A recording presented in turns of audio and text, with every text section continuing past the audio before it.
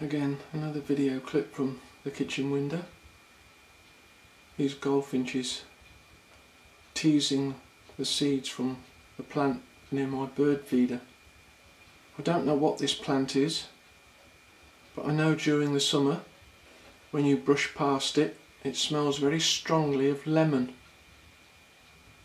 But I don't know what the shrub's called.